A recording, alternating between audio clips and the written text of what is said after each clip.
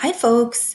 Uh, it's Tamara Phillips again, your English teacher, here to talk to you a little bit about our next participation activity. So, this is participation activity number three. So, over and over again in today's uh, participation activity number two, folks uh, told me that they really needed clear instruction in order to be successful in a class. And of course, this makes sense.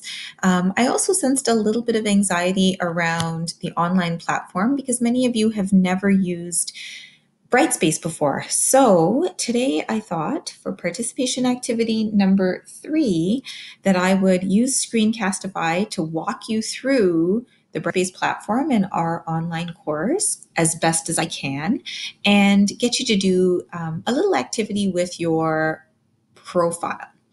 So the first thing I wanted to show you is our course homepage. Up here in the nav bar or navigation bar, you can add as many little apps as you want to your nav bar.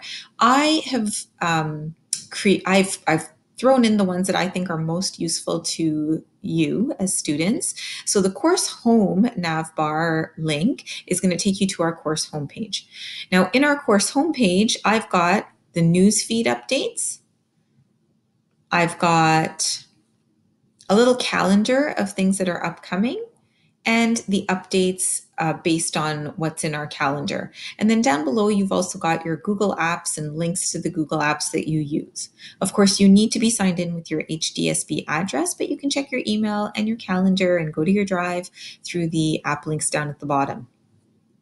Now, up top, content is probably the most useful link in the nav bar that you are going to use. And right now, these are the two modules that we are working on. Of course, there are many other modules to come, but for now, we're on Unit 1 and getting to know you.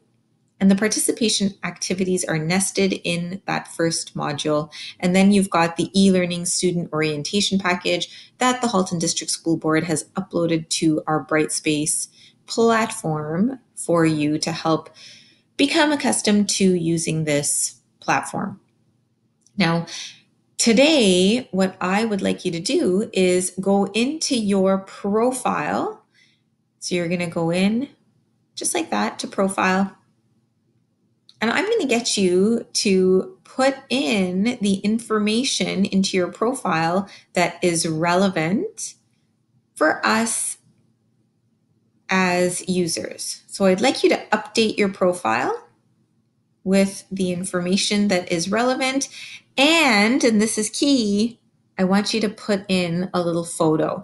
Um, if you are comfortable with putting a profile picture of yourself, just like you would use in social media, I would love that just so that we know, you know, can put a face to the name. Uh, while we're interacting with one another on this online platform. But if you're not comfortable with that, maybe you can upload a picture for your profile picture that uh, speaks to who you are and maybe represents a little bit about uh, you. So, again, if you wouldn't mind filling in your profile for participation activity number three, I'm going to be going through and checking out your your user profile. Um, for our next uh, attendance activity.